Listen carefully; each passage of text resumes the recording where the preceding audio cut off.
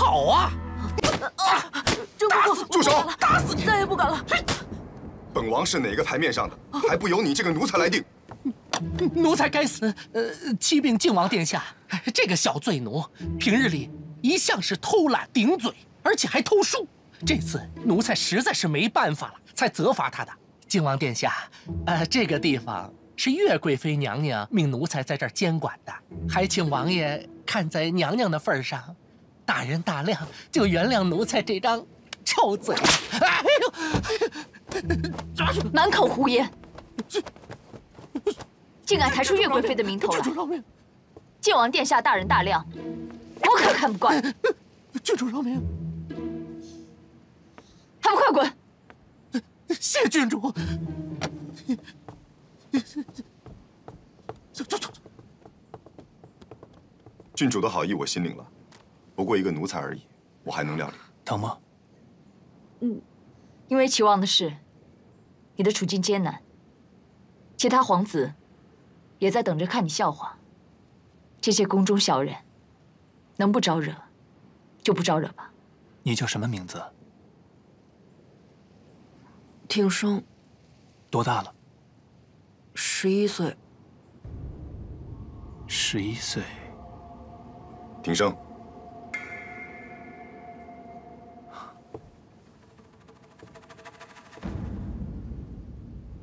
是谁？啊，这位是苏哲苏先生，萧景睿的朋友，来京城养病的。苏某一介布衣，靖王殿下不认识也是自然。能进到这宫墙之中，又有郡主相陪，岂会是寻常白衣？想来是我不在宫中已久，孤陋寡闻了。听刚才那个奴才说，你经常来看这个孩子，他是谁呀？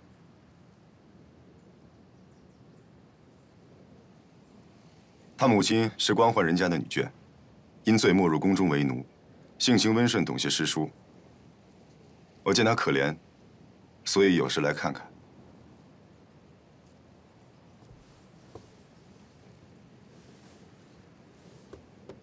庭生，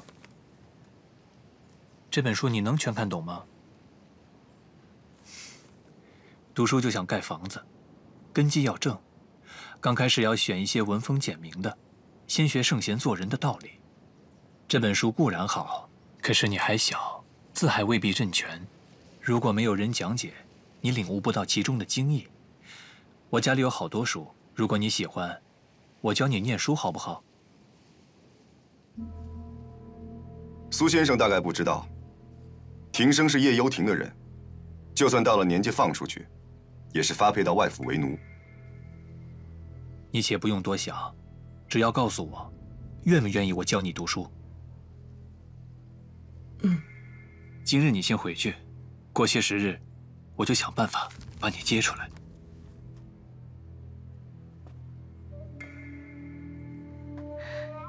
苏先生有所不知，这叶幽亭的奴婢可不是一般的宫中使役，如果没有陛下特赦，是不能离开的。况且陛下素来不喜欢有人替这些奴婢求情，要不然，以晋王殿下皇子的身份，早就把这个孩子要了出去。有许多事情。不去做，怎么会知道结果？让我来试试，又有何妨？像庭生这样的罪奴，宫中少说也有数百个。他有何特殊之处，可以引得你的注意？既然你这么问苏先生，那我倒想问问你了：你这么照顾这个孩子，难道仅仅是因为同情吗？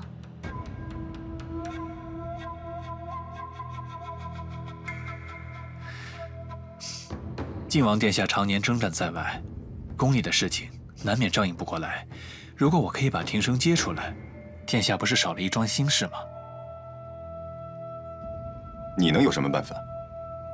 只要想做，办法总是有的。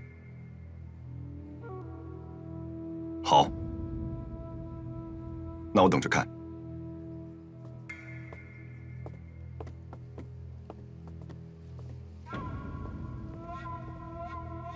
我也等着看。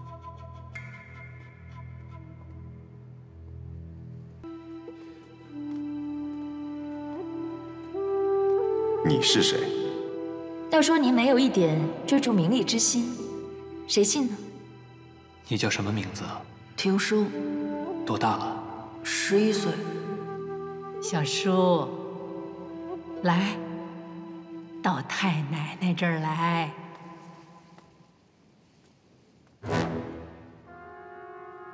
你就是苏哲。魏将军，这位苏先生是奉太皇太后之命前来。没你的事儿，一边去。是。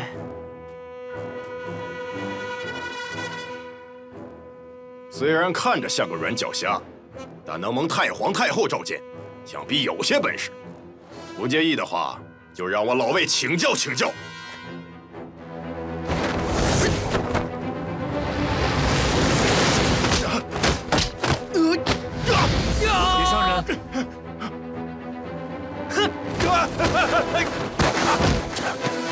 住手！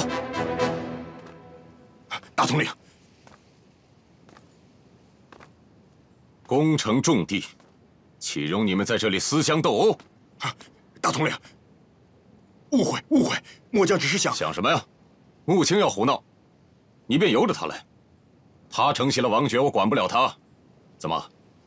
难不成把郡主也请过来啊？不是不是，今日是末将太鲁莽了，实在没有恶意啊。大统领赏个面子。可千万不能告诉郡主啊！还不走？等我请你吃饭啊！是。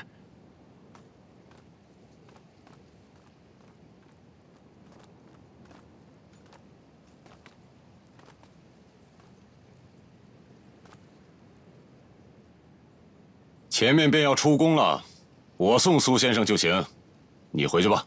是。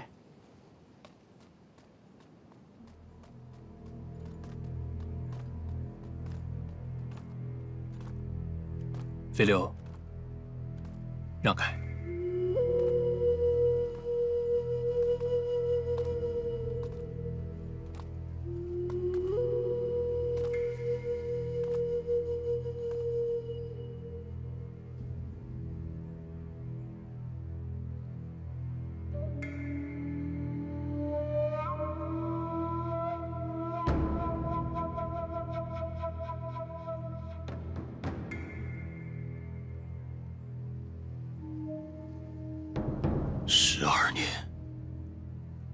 整整十二年，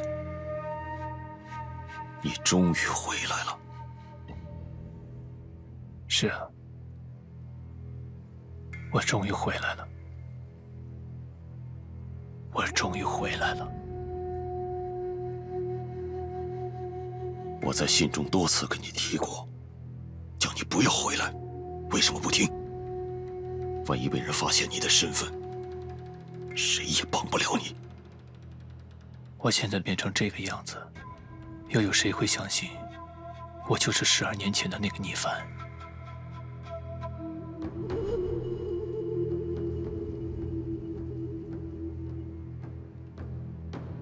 虽然你在信中说过，因为伤病容颜大改，可我怎么都没想到。你竟然变得如此面目全非，毫无往日的痕迹。可是那天在宁国侯府，你一眼就认出我了。在下苏哲，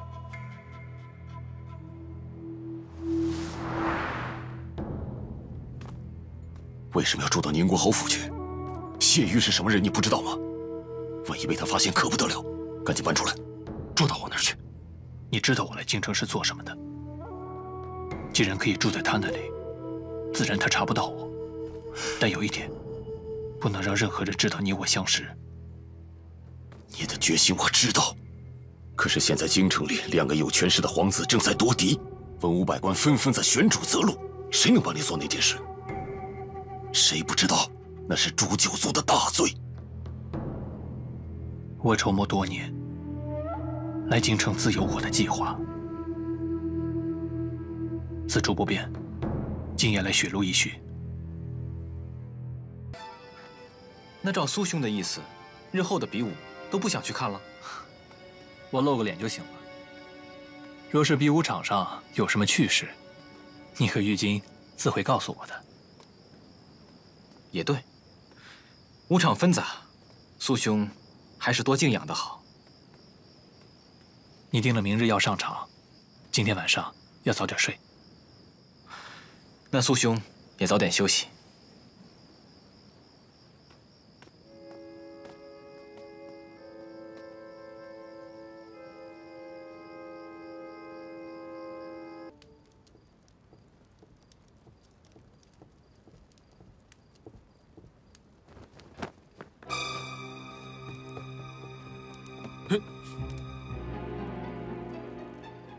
这满侯府都没人发现我，倒被你先察觉了。飞流，让蒙大哥进来，他是我请的客人。哼，你去吧，把门带上。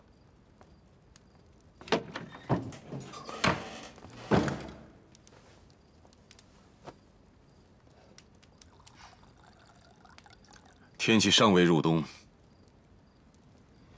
你已经用火盆来取暖了，想必你身上的伤还没有养好。干嘛这么着急来京城？你说你来也不跟我说一声，我一点准备都没有。你让我该怎么帮你啊？孟大哥，你现在是禁军大统领，恩宠深重，又何必被我所累呢？你只要装作不认识我，就算是帮了我大忙了。你这叫什么话？你把我蒙挚看成什么人了？孟大哥，你对我的袍泽之情，我心里比谁都清楚。可是，正如你在宫中所说的，我现在对自己所做的事情并没有十分的把握。我不想让你卷进来，万一我失败了，孟家世代忠良之名，恐怕要毁于一旦。忠义在于心，不在于名。虽然当年我在赤焰军中只待了一年，但我足以相信林氏的忠义，相信你呀。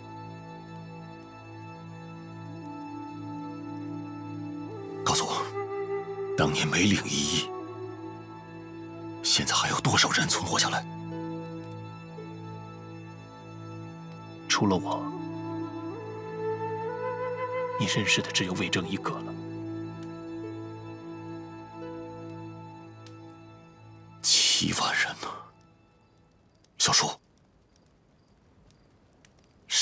十二年前究竟发生了什么？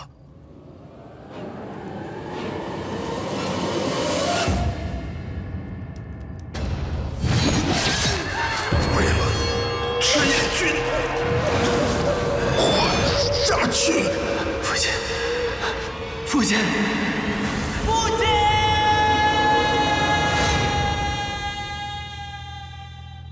七万赤焰军我全军覆没，孟大哥，等到合适的时候，我会把详情都一一告诉你的。好，好。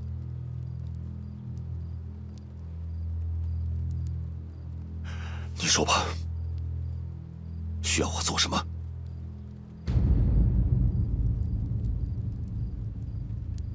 这些小事你不用管。明天就是武选最后一天了，你和玉京挤进前十，参加文试应该没什么问题吧？我自然没问题，只是玉金却不敢说。皇上要我为郡主执掌文事。旨意已经下了，宣旨太监就在路上了。皇上怎么会知道我的？哦，先生才名卓著，想必是誉王殿下举荐的。苏兄，你也没有办法吗？您要我想办法，也得让我明日在皇上摆的宫宴上见到了百里奇之后，才能慢慢的筹划吧。也是啊，苏兄还没有见过那个百里奇呢。多谢公公前来知会，明日宫宴，我北燕使团一定早早到来。如此甚好，使臣大人，请留步吧。皇上明日的宫宴，明说是想见见十个进入文试的候选人，其实也是一种缓兵之计。在席上，定会找理由，让我们相互再对战一场。若是我能拼尽全力伤那百里奇一二，那郡主也许能轻松一点。哎，景睿，你的名字是陛下所赐的，是按皇子排行取的。虽然京城里人人都知道此事，可是北燕使臣是外族人，他们未必知道内情。若是他们以为对阵的是个皇子，那必定会有所顾忌，说不定你还能找出破绽，让百里奚挂点彩呢。未必能如你所愿。这十个人的名单又不是保密的，那些燕人要是知道了景睿的名字，不会派人去查吗？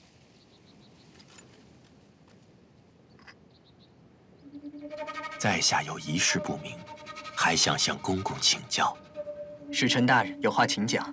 昨日郡主文氏的十个公子中，在下看到有一位叫萧景睿的公子，莫非是陛下的某位皇子吗？景睿的身世我也略有耳闻，但是其中的详情却并不知道。哎，我知道，我知道，我知道的最清楚了。你比我小整整一岁，你能知道什么呀？我当然知道了。长公主当时生你的时候呢，因为京城突发瘟疫，所以呢，只得住到瑞山的一处尼姑庵去了。当天晚上，天泉山庄的卓夫人也刚巧上山，挺着大肚子没地方去，长公主心慈，所以呢，让卓夫人住到了她的隔壁。我听说卓庄主刚刚接手天泉山庄，事务繁忙，并没有陪在夫人的身边。不只是卓庄主。谢侯爷当时也忙于军务，不在京城。长公主和卓夫人比邻而居，性情相投，又都要生产了，自然一起起居。可是后来，就在那天晚上，刚出生的婴儿在一片黑暗中，慌乱的时候滑脱了手。等再把他们抱起来，自然分不清哪个是卓家的，哪个是谢家的。更糟的是。第二天，其中一个婴儿便夭折了。嗯，就剩他一个，你说这算谁家的？既然天意如此，人力又怎能相抗呢？唉，当时情况十分复杂，陛下也难决断，所以啊，才赐了这个名字给他，让他当宁国侯府和天泉山庄的两姓之子。也亏了景睿，现在两家人相处的如亲眷一般。两年前，卓家大哥卓清瑶迎娶了谢家小妹谢琪，现在是亲上加亲了。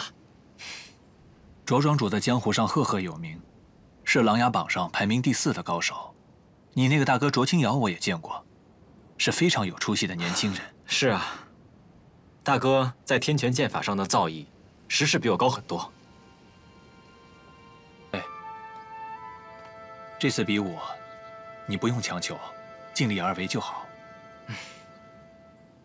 我自知胜不过百里奇，只求能多伤他一分，这样郡主便多一分把握。景睿，小王爷，哎，这个就是苏哲苏先生吧？正是。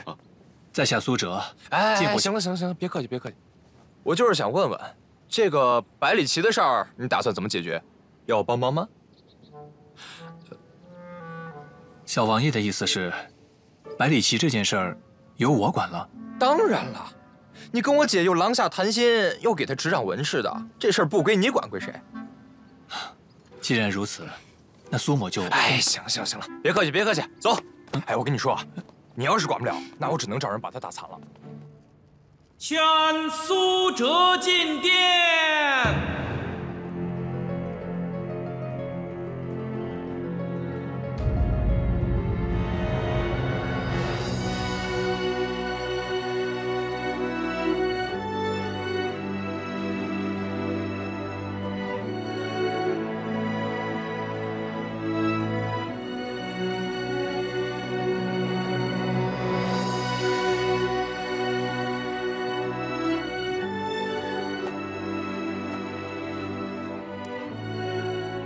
参见陛下。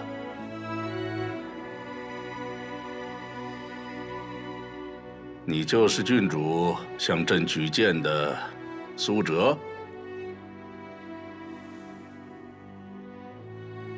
正是在下。起来吧。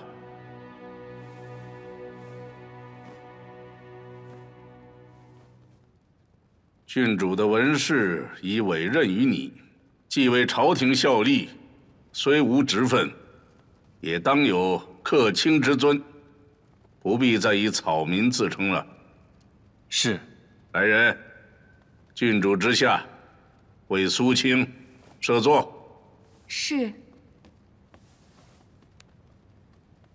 谢陛下。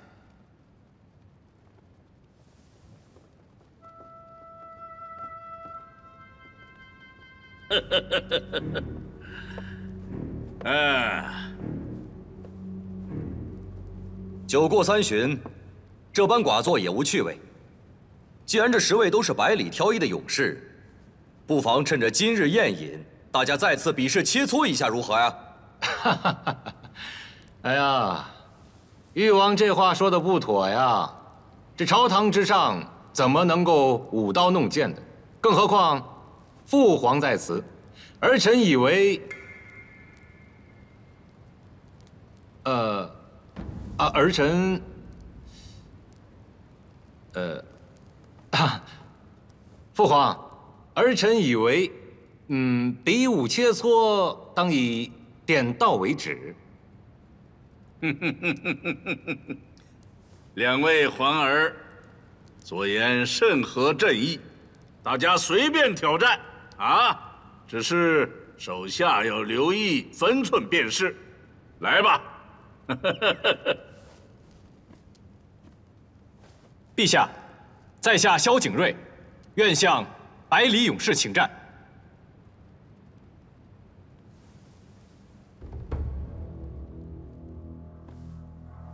请，请。